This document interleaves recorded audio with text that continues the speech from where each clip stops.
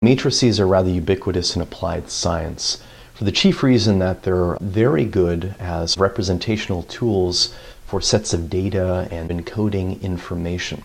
So matrices are typically first encountered by students in a math class in the context of solving what's called a system of linear equations. So for instance, here's a trivial example of what would be called a two by two system of linear equations. That's referred to as a 2 by 2 system because there are two equations and two unknowns.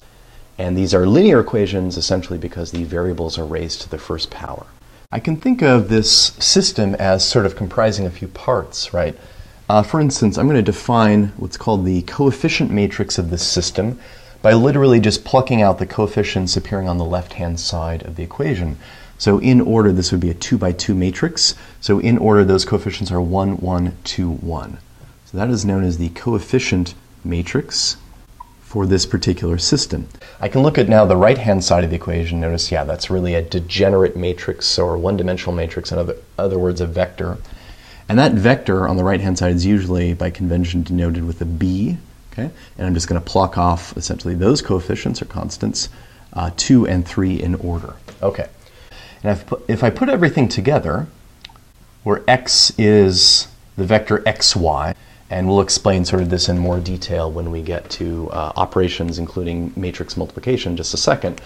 But basically, if you sort of take all those pieces, you can tie them all together in this nice, convenient way, and this is known as kind of the fundamental matrix equation for that particular system. There's one nice use of matrices that students commonly encounter sort of earlier in their math careers. Another example would be something like this. Granted, we're probably familiar with polynomials a little bit, so let me just sort of make up a, a quick example.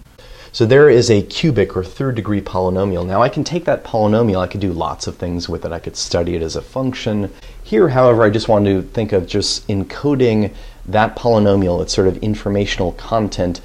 So what I could do is convert this polynomial into a vector. Now I can think of, I'm going to sort of move right to left here um, as is done conventionally. I can think of sort of the first bit of information, just the constant part of the uh, polynomial. So I'm just going to plug in a negative 4 there. The linear coefficient is a 10 for this particular cubic polynomial. Now notice um, the coefficient for the quadratic term, the x squared term, is a 0. Now I need to fill that in as a placeholder to properly encode this polynomial as a vector. And then lastly, I can look at sort of the cubic term here as well. So there is a vector form, sort of a vector encoding of that particular polynomial. One other thing to maybe mention here is you could have a very large matrix, we could just call it sort of the X matrix, and the X matrix in a lot of sort of applications in statistics could just represent our data set. When we perform an experiment or we do some sampling, we collect data and I can then represent that data, encode it in a matrix. I could have data arranged in columns here, where each column represents an individual subject in a sample set, and we can just encode this. Let's say we get the number 0 and the number 100 and the number, uh, let's say 135. Okay. So what does this all mean just to make up sort of a toy example? Well, I can encode a data set from a sample. Zero represents the gender of an individual. So zero could represent male, one could represent female, or something like that. And maybe the second row represents the weight of the individual, and the third row represents, oh, their IQ or something like that. So, point being, I can take a big data set and represent it conveniently and code it as a matrix. And we might want to do that because once we know enough about linear algebra, that is the study of essentially matrices and their algebraic properties, we could then ask, well, given that data set, can you find me a best fit curve?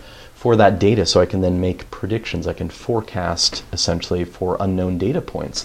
And that process is known as, generally speaking, regression. So if I take my data, encode it as a matrix, and then sort of use the various algebraic properties of matrices to kind of find a best fit curve or best fit polynomial, that process um, is extraordinarily fruitful in applied science, and that's known as regression.